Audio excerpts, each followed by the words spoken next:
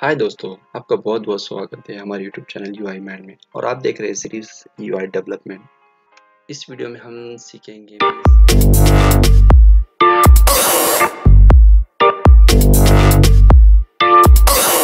अभी हम सीखने वाले first S T M L S T M L क्या है?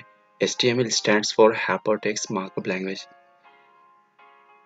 which is used to structure a web page means HTML hypertext, markup language है।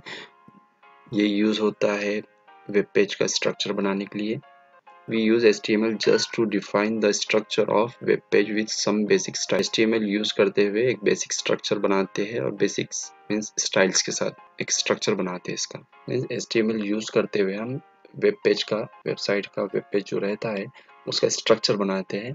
With some basic styles कुछ basic styles के साथ of dot S T M L means ये जो file हम save करते हैं, उसका एम एल के साथ हम सेव करते हैं। जैसा कि मेरे यूट्यूब चैनल का नाम है आई माइंड जैसा मैं भी हमारी यू आई की वेबसाइट अगर से बनाता हूँ फ़ाइल में कैसा सेव करूँगा?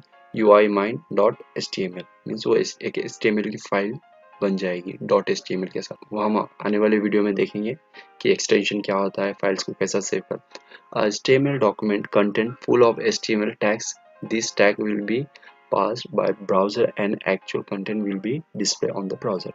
HTML एक डॉक्यूमेंट HTML टैग्स को पास करता है ब्राउज़र मीन्स ब्राउज़र उसके HTML टैग्स को समझता है और जो हमारा एक्चुअल जो हमारा ब्राउज़र मीन्स वेबसाइट का जो कंटेंट रहता है वो ब्राउज़र जो होता है HTML के टैग को रीड मीन्स रीड करता है रीड करके उसको डिस्प्ले हमारा कंटेंट कराता है, ना कि टैग तो हम आने वाली वीडियो में देखेंगे टैग क्या होते हैं और हमारा ब्राउज़र पे रन कैसा होता है.